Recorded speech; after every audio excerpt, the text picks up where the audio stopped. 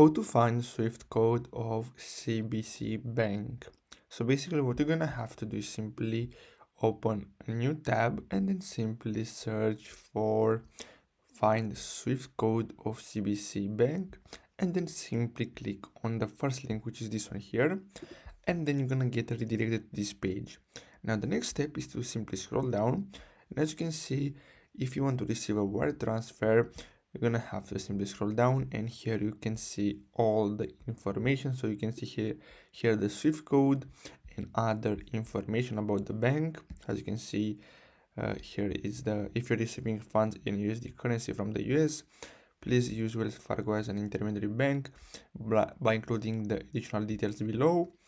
And if you want to send a wire transfer here you have other um, steps but that's it so i really hope you found this video helpful. Don't forget to like and subscribe.